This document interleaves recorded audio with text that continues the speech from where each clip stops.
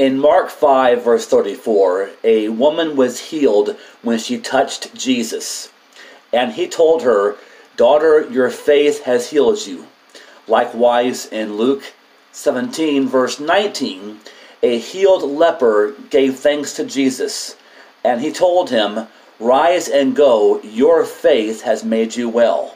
In these verses and many others, he could have said, I healed you. He could have said, God healed you. Instead, Jesus always emphasized the person's faith.